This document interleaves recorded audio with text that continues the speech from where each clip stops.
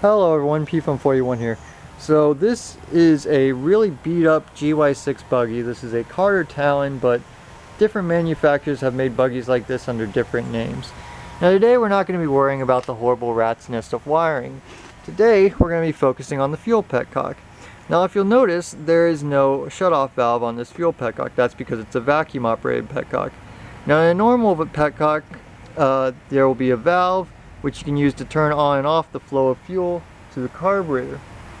Now, the way this works is it's got a regular fuel line, but then it's also got a vacuum line which goes to the intake manifold. Now inside of it is a little vacuum diaphragm which operates a valve which controls the fuel flow. So when the engine's running and providing vacuum to the diaphragm, it opens the valve, allows the fuel to flow, and when the engine is stopped and there's no vacuum, the valve closes and fuel is no longer allowed to flow. Seems simple enough.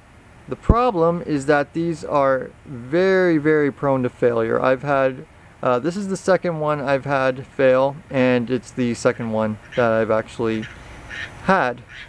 So yeah, their failure rate is pretty high, especially if they've been sitting. Now the problem is that when they fail, usually the diaphragm will fail and dump raw fuel into the intake manifold, which fills your engine up with fuel and then fills the crankcase up with fuel, and that is no good. And clearly this one has failed because I have looped a fuel line around just to plug off both ports because it's now dumping fuel out of both ports and it will provide full fuel flow uh, out of the main fuel line or the vacuum line uh, with absolutely no vacuum present at all. So this is no good. Now I could replace it, but to be honest, I absolutely hate these things because they fail so often and there's no way to actually shut off the fuel flow manually. So instead, I'm going to be replacing it with this standard uh, fuel petcock. Now you'll need to match up the threads on the tank. Now this one, if my memory serves me correct, is an M16 by 1.5. So we're going to put that on there and I'm going to run an inline fuel filter and that way we don't have to worry about this vacuum petcock anymore.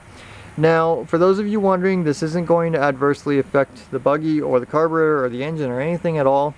Um, the fuel petcock does the exact same thing as a normal petcock when the engine's running, it just shuts off when it's not running and it doesn't regulate the fuel at all. All the fuel regulation is done by the uh, by the float and the needle inside the carburetor regardless of what kind of petcock you have. So I've got a funnel with a fuel tank on the ground because this tank isn't empty. I'm try to catch all the fuel when it comes out of here.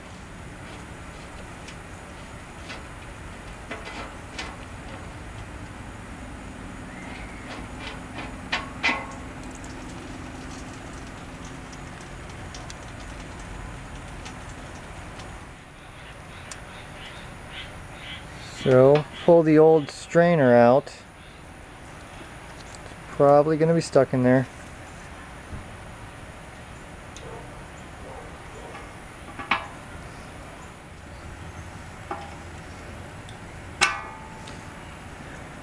There's a strainer, or what's left of it. I ripped off the top part from inside the gas tank. So this new petcock did come with an in-tank strainer, but I'm actually just going to leave it out because I hate in-tank strainers.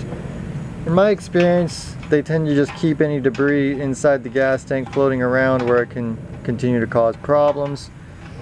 And I'm going to be running an in inline fuel filter anyway, so it's not necessary. So thread that on.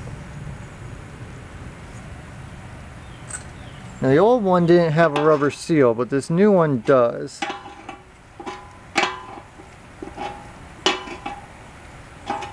It's gonna turn, I don't want it to turn.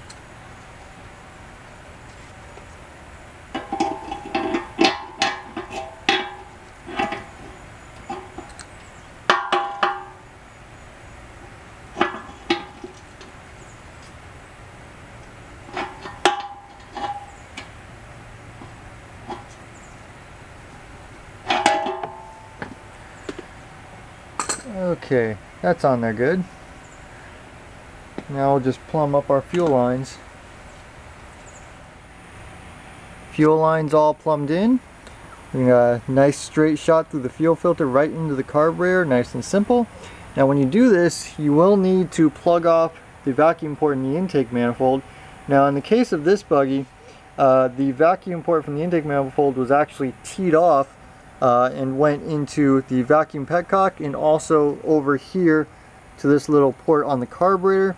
So I didn't actually have to uh, get a vacuum cap for this. All I did was route the vacuum hose straight from the intake manifold over into this port on the carburetor so it still gets vacuum. And now we can just turn our fuel on.